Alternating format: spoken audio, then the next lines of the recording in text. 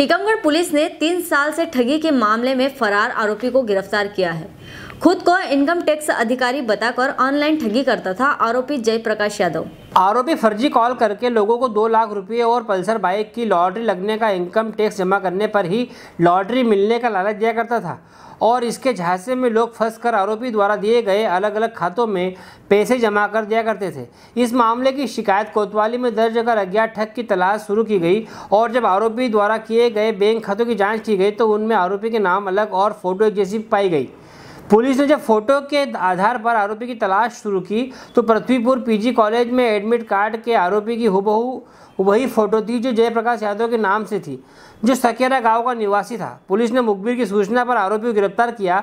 आरोपी ने स्वीकार किया है कि उसके साथ कई और भी लोग थे जो ठगी में उसका साथ देते थे। पुलिस ठगी में संदिग्ध अन्य आरोपियों को तलाश कर रही है। वहीं खुद को इनकम टैक्स अधिकारी बताने वाले आरोपी को जेल भेज दिया गया है। टीकमगढ़ से मनोज खरे की रिपोर्ट। विगत दिनों माफियाओं के विरुद्ध लगातार कार्रवाई की जा रही है। इसी तारतम्य में जो संपत्ति को लूट खसोट करते, ठगी करते हैं, ऐसे लोगों की भी तलाश पुलिस के द्वारा की जा रही थी। पुलिस अधीक्षक महोदय द्वारा निर्देशित किया गया था कि ऐसे प्रकरण के जो आरोपी हैं, उनकी धरपकड़ की जाए। 2016 में 16 अगस्त 2016 को एक रिपोर्ट थाना कोतवाली में दर्ज की गई थी, जिसमें एक व्यक्ति आसिफ अली निवासी कुंडेश्वर द्वारा बताया गया था कि उसको किसी व्यक्ति ने फ़ोन करके बताया कि मैं इनकम टैक्स ऑफिसर बोल रहा हूँ और तुम्हारी लॉटरी खुली है और अगर आप दो लाख रुपए जमा कर दोगे तो आपको इसके रिवार्ड मिलेगा। इसी तरह से एक बार दोबारा फिर फ़ोन आया उसके पास। तब जाके उसने उस व्यक्ति द्वारा जो तीन खाते बताए गए थे, उन खातों में से एक खाते में उसने अट्ठाईस सौ रुपये जमा कराया था। न तो उसकी लॉटरी खुली, न ही उसको कोई पैसा मिला।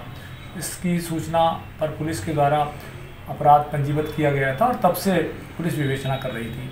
विवेचना में ये तथ्य पाया गया है कि जो तीन खाते उस व्यक्ति के द्वारा खाता नंबर बताए गए थे, वो कियोस्क शाखा स्टेट बैंक की सागर, मकरोनिया की है। जब पुलिस द्वारा वहाँ पता किया गया तो जानकारी दी गई कि एक ही व्यक्ति द्वारा तीन खाते खोले गए हैं अलग अलग नामों से, जिनमें फिंगरप्रिंट और फ़ोटो एक ही व्यक्ति के हैं।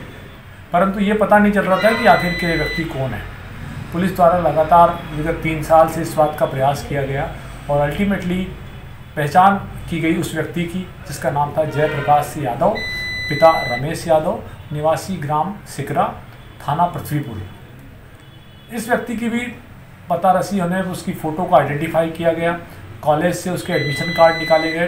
तो ये जानकारी मिली कि ये लड़का 2016 में सागर में कॉलेज में पढ़ता था और जब ही इसके द्वारा ये कृत्य किया गया था। इसके भाई को इस बारे में पता चली तो जब उसने उसको पढ़ाई छुड़वा कर गाँव में खेती करने के लिए बुला लिया था। तब से ये गुमनाम ज़िंदगी जी रहा था और पुलिस द्वारा लगातार प्रयास किया गया जिसमें कल इसको ग्राम सिकरा से पुलिस द्वारा पकड़ा गया है। इसके द्वारा जो खाते खोले गए थे, उनकी जानकारी ली गई है। इसमें कई लोगों से इसने इनकम टैक्स अधिकारी बनकर या फर्जी लॉटरी का फ़ोन करके पैसे जमा कराए हैं। इसमें ग्राम सिकरा के कई और लड़के भी शामिल हैं, जो इसके साथी हैं। और उनके लिए भी पुलिस लगातार प्रयास कर रही है कि उनको भी गिरफ़्तार किया जाए। हेलो फ्रेंड्स आप देख रहे हैं हमारा channel S W twenty four news हमारे सारे वीडियो सबसे पहले देखने के लिए आप हमारे चैनल को सब्सक्राइब करें और पास में लगे बेल आइकोन को दबाना बिल्कुल भी ना भूलें।